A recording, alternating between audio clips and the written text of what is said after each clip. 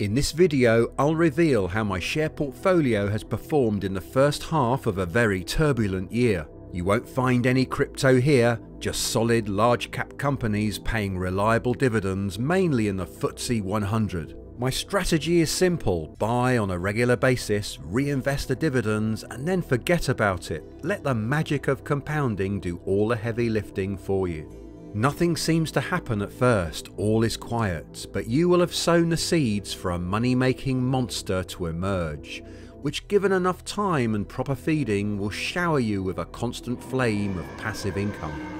I'll reveal the performance sector by sector. I'll tell you exactly what I've bought and sold this year, and finally, I'll compare the performance to a variety of benchmark indices. And all this for free. But please consider hitting the like button, as I'm told it helps some mysterious YouTube algorithm. This is not investment advice, I'm just showing you what I've been doing for the last 13 years to help you think about your own financial journey. Please do your own research. I'll describe the performance of each sector starting from the lowest to the highest. In the chemical sector, I only have one company, Croda, and the share price has had a disastrous six months, but I've been buying in for the first time this year as I sense a bargain.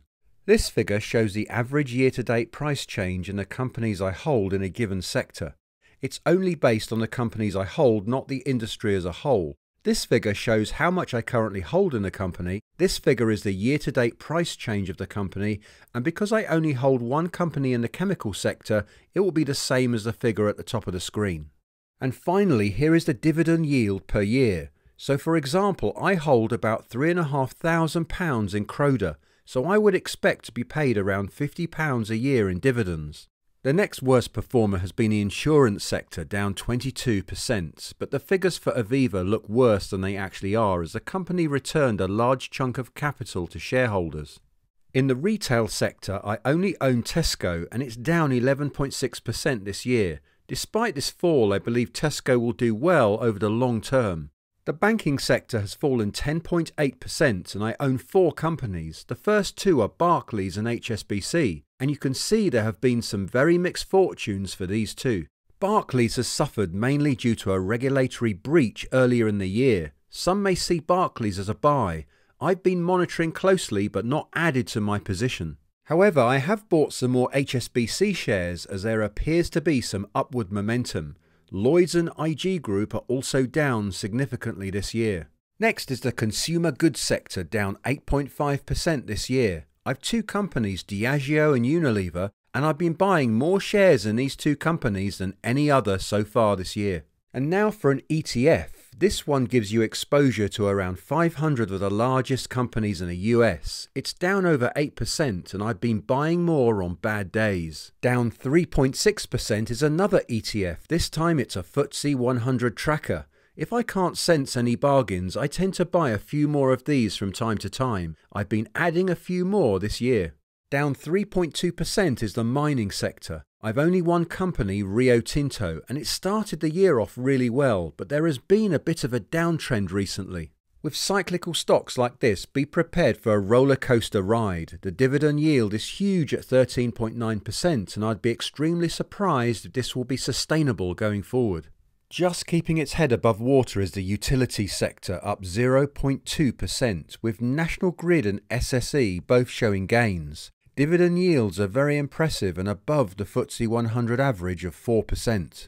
United Utilities is off the pace slightly, but the yield is good. In times of economic shocks, the utilities tend to be fairly resistant and they are an integral part of my portfolio. Up 3.6% is the renewable energy sector. Bluefield basically turns sunlight into money, and Greencoat does the same with wind. Both are doing very well this year, and the dividend yield is high. The Renewable Infrastructure Group has solar and wind assets and is slightly down this year, but the dividend is very respectable.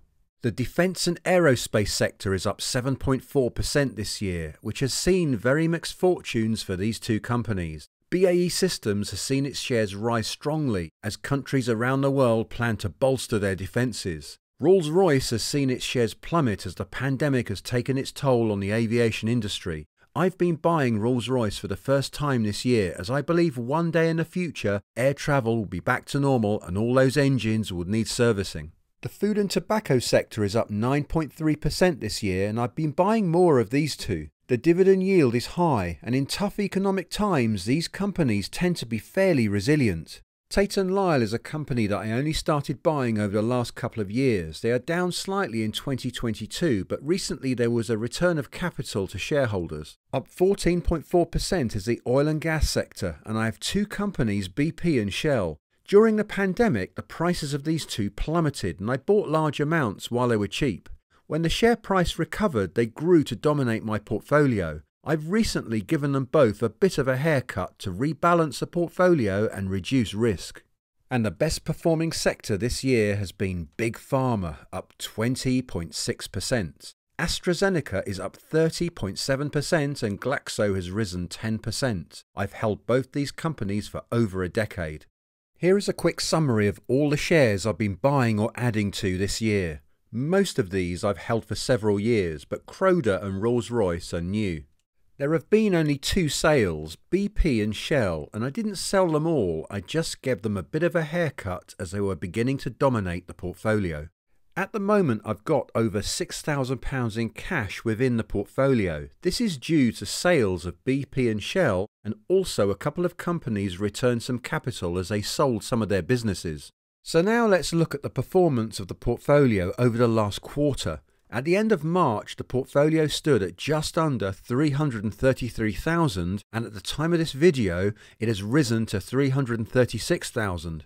No new money went in at all. I was still buying shares, but it was from money already inside the platform, which came from either sales, return of capital, or dividends. So in the last three months, the portfolio has shown a total return of £3,749 or 1.1% gain. Now let's look at the performance this year. At the start of the year, the portfolio had reached just over 301k, and as I've already shown, it's now 336k. £11,350 of new money has gone in this year, so if we deduct this from the equation, we have a gain of just under 24,000 since the start of the year.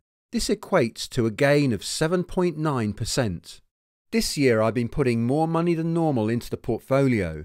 In good times when the market is booming, I set some aside to deploy when the market isn't doing so well. I can then snap up bargains. Warren Buffett always has at least 20 billion kept aside for this purpose. I'm now going to compare the performance of this portfolio with other indices. To do this, I'm going to strip out any dividends I've received so far this year. This still gives me a gain of 6.2%. You can see in this table how the performance compares to other indices. A word of caution however, I've clearly beaten the market this year so far, but that doesn't mean I will over the long term. My gains have mainly been driven by oil, gas and big pharma, and there will come a time when these sectors underperform. Having a diversified portfolio over different sectors is recommended to reduce risk. I'm a strong believer in using index tracking ETFs, and I've been buying more of them recently. If I was starting my portfolio today from scratch, I'd be strongly considering these three as a starting point. When I began my portfolio, ETFs were not mainstream. I still like individual stocks too, as it enables me to snap up bargains when they emerge, something which I couldn't do if I was solely invested in ETFs. So what about my overall performance since I started in 2009? This is quite easy to do as I've never taken a single penny out of my Barclays platform and I know exactly how much I've put in over the last 13 years. At the start of my journey I was learning and I made plenty of mistakes.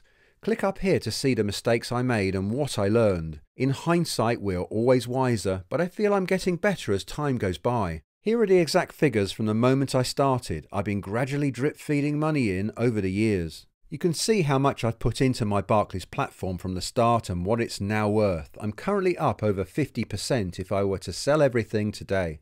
But what motivates me the most is actually watching the dividends grow year by year. Here is a graph showing my average dividends per month and how it grows over time. You can see the effect of COVID in 2020, but it quickly recovered, and I'm currently generating a passive income of well over £1,000 a month, as well as the capital growing too. Who knows where this journey will end, but it's fascinating watching it happen. If you found any of this helpful, then please hit the like button and consider subscribing for more portfolio updates. How do you think the stock market will perform for the rest of 2022? Let me know in the comments. See you next time and happy investing.